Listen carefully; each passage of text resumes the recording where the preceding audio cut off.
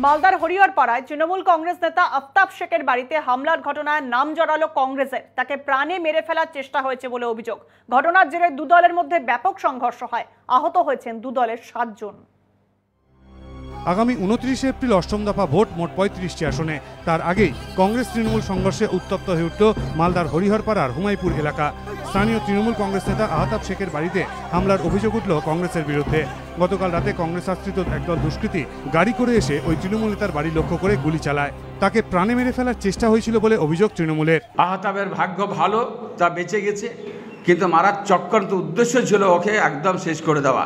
অভিযোগ অস্বীকার করেছে কংগ্রেস। তাদের দাবি প্রচার সেরে ফেরার সময় গাড়ি লক্ষ্য করে আগ্নেয়াস্ত্র সহ তৃণমূল আশ্রিত দুষ্কৃতীরা চড়াও হয়। ভাঙচুর করা হয় তাদের গাড়ি। এলাকায় ঢুকে এক গ্রামবাসীর ওপর আক্রমণও চালায় তৃণমূল। আগ্নেয়াস্ত্র বার দিয়ে এবং নল দিয়ে গোটা গাড়িকে কাঁচ তছনছ করা হয়। ঘটনায় দুই দলের মোট সাতজন আহত হয়েছেন। দুপক্ষের তরফে হরিহরপাড়া থানায় লিখিত অভিযোগ দায়ের হয়েছে। ঘটনা তদন্তে নেমেছে পুলিশ। আকাশ বার্তা। করোনার মাঝেই শহরে অঙ্গদান এই খবর নিয়ে ফিরছি আরও একটা বিরতির পর। সঙ্গে থাকুন।